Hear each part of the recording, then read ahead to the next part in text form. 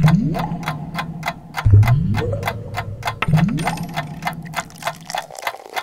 of all, I want to tell you about my boy Ray over there at New Quick. Nuqik.com. The boy straight up international. Coming straight up out of Budapest. He don't want no pestering around. Let me tell you about the life story. He was born in Los Angeles, California. He told me not to tell you it was Thomas, but I got to tell you. But soon as he headed up out of there, he went straight to the 405, straight to LAX. He was about nine years old. They told him you're too young to get a passport.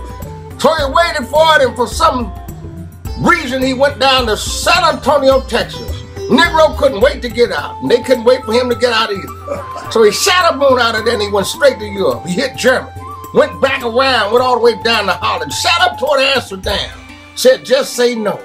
And then he got up out of Amsterdam and he shot right over to Bulgaria, right down by Morocco, straight down to Panama, over back over to Cuba, down to the Bahamas, and he shot back up to Washington. Not D.C., because they didn't want him there too. So he said, I'm sick and tired of you. I ain't going about to do no million man march because he was the million one man and they didn't want him. So he said, I'm getting out of there and he went back on over to Europe. He found a home over there in Europe in Germany. He left Germany, went over there to, uh, I think it was uh, London there, English shop. Yeah, it was something that had that man. Yes, sir, it was that. He left up out of there and he kept up back like James Brown said. He kicked up back down there with the south of France. He down there south of France little bit. Down there in Italy. Left Italy went on back down over to Spain. Bull fight for a little while. Bull messed with him. He took the bull, knocked that bull out, got up out of there, and he shot back over to a place called Hungary.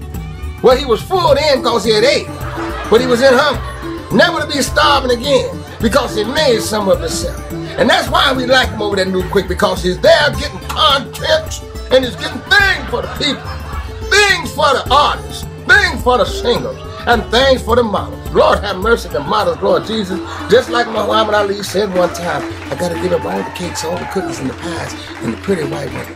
Just like Cleavon Little said in Blazing Saddles, where the white women at? Just like the Three Stooges said, no, no, no, no, Moe Larry Cheeks. It all went down like that.